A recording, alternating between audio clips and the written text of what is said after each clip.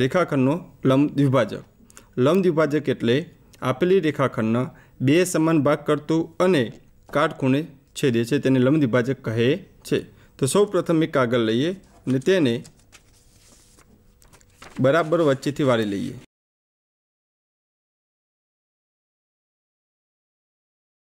વાળી લઈશું એટલે આપણે રેખાખંડ મળશે.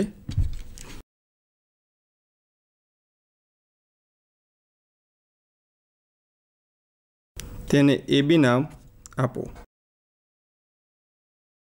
હવે, એ બી રેખાખંડની એક બાજુએ કોઈપણ બિંદુ પી લો અને એથી એને બરાબર વાળી લો. એટલે આપણને અહીંયા બીજું બિંદુ મળશે, તેનું નામ આપી દઈએ ક્યુ. હવે પી ક્યુને જોડતા.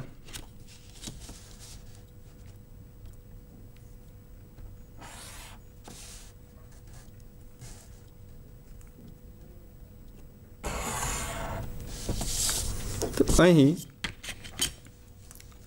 એ બી રેખાખંડ એ રેખાખંડ પીક્યુનું એ સમાન ભાગમાં વિભાજન કરે છે અને તેને લંબ છે.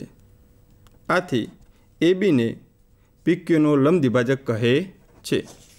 હવે આપણે ભૂમિતિની પ્રચલિત રીત, પરિકર માપપટ્ટીની મદદથી આપેલ રેખાખંડ એ બીનો લંબ દ્વિભાજક દોરીએ. તો સૌપ્રથમ એને અને બીને વારાફરતી કેન્દ્ર લઈ એ બીથી અડધા માપનું. જો એ બી છ હોય, તો એનાથી અડધું લે વધારે ત્રીજા લઈ ચાપ મારીએ. એ બીની બંને બાજુ ચાપ મારીએ.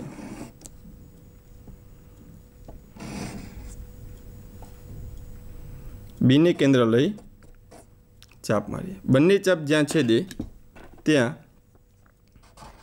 પી અને ક્યુ નામ આપીએ પી અને ક્યુને જોડતા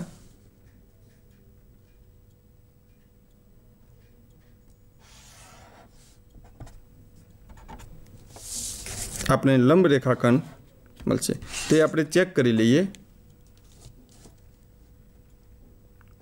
જે એબી રેખાખંડને લંબ છે અને તેનું બે સરખા ભાગમાં વિભાજન કરે છે. આથી પીક્યુને રેખાખંડ એબીનો લંબ દ્વિભાજક કહે છે.